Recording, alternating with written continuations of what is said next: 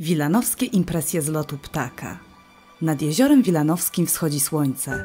Rozświetla fasadę pałacu zatopionego wśród jesiennych drzew.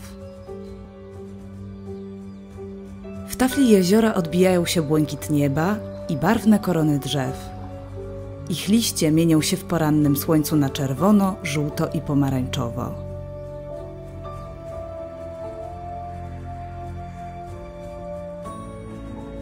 Odwiedzamy willę Intrata, staropolski dworek o jasnobeżowych ścianach.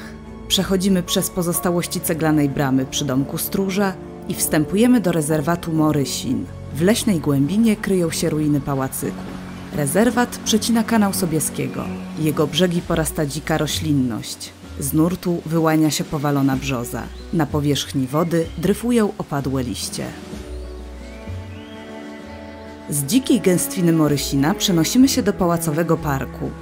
Na dziedzińcu rozciąga się równo przystrzyżony trawnik. Ogród wokół pałacu wypełniają geometryczne kompozycje złożone z kwiatów, ozdobnych trawników i niskich żywopłotów. Z pomiędzy klombów i alejek wyrastają klasyczne rzeźby. Dalej ogród przechodzi w malowniczy park angielski o wijących się ścieżkach. Nad Wilanowem zachodzi słońce. Złocista fasada pałacu kontrastuje z szarością wieczornego nieba.